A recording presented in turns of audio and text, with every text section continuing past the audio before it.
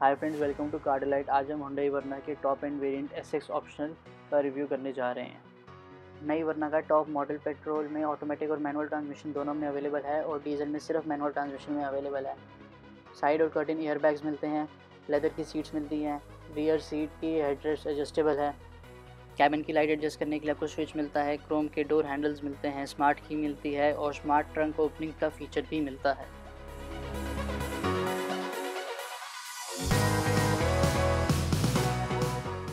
और top model में front two ventilated seats available हैं इलेक्ट्रिक पावर सनरूफ अवेलेबल है एडजस्टेबल रियर हेडरेस्ट भी है ईयर कॉटन टेक्नोलॉजी मिलती है, लेकिन सिर्फ़ ऑटोमेटिक ट्रांसमिशन में रियर मैनुअल कर्टन मिलता है बूट में लगेज हुक और नेट मिलता है ऑटो लिंक की टेक्नोलॉजी मिलती है and leather wrap steering wheel और गियर नॉब भी अवेलेबल है।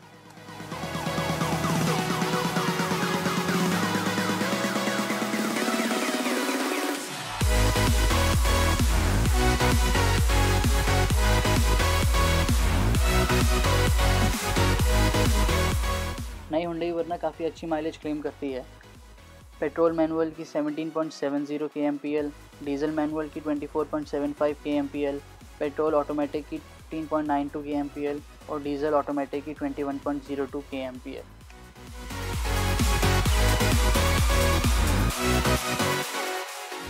तो अब जान लेते हैं नई हुंडई वरना कितने कलर ऑप्शन में अवेलेबल है। नई हुंडई वरना टोटल सात कलर ऑप्शन में अवेलेबल हैं, जो हैं stardust red black silver, white, orange or brown.